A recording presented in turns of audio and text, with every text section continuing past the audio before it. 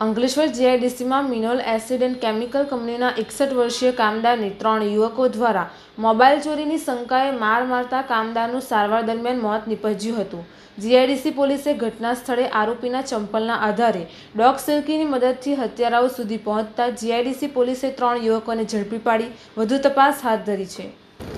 Police સૂત્રે માહિતી મુજબ અંકલેશ્વર જીઆઈડીસીમાં કનોરિયા કેમિકલ કંપની પાસે આવેલી મિનોલ એન્ડ એસિડ કેમિકલ કંપનીમાં કામ કરતા એકસઠ વર્ષીય બળવંતભાઈ કાળુભાઈ રાઠોડ અને security guard Ramanbhai Narayanbhai Parmar company પર હાજર હતા.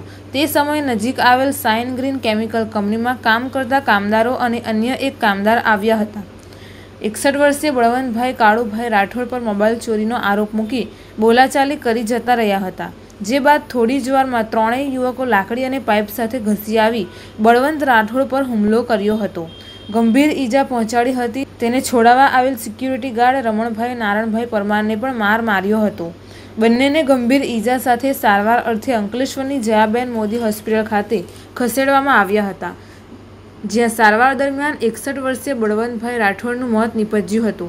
ઘટના અંગે જીઆઈડીસી પોલીસે ત્રણ યુવકો સામે હત્યાનો ગુનો નોંધી તપાસ હાથ ધરી હતી અને સ્થળ પર એફએસએલ અને ડોગ સ્કોડની મદદથી તપાસ શરૂ કરતા ડોગ સિલ્કીએ ઘટના સ્થળે પડેલી આરોપીની એક ચપ્પલના આધારે સીધી નજીક આવેલ Sign Green Acid and Chemical company ખાતે પહોંચી હતી.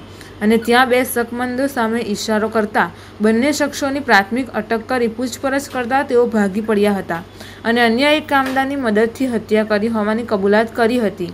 જીઆઈડીસી પોલીસે મૂળ બિહારના હાલ નવનીત પ્રોડક્ટ કંપનીના રૂમમાં રહેતા Pradyuman Prakash Mandal Sign Green Acid and Chemical કંપનીમાં રહેતા મિથુન શ્રીકાંત મંડળ અને રામભૂ દેવન મંડળની વિધિવત ધરપકડ કરીને રિમાન્ડની તજવીજ હાથ ધરી છે.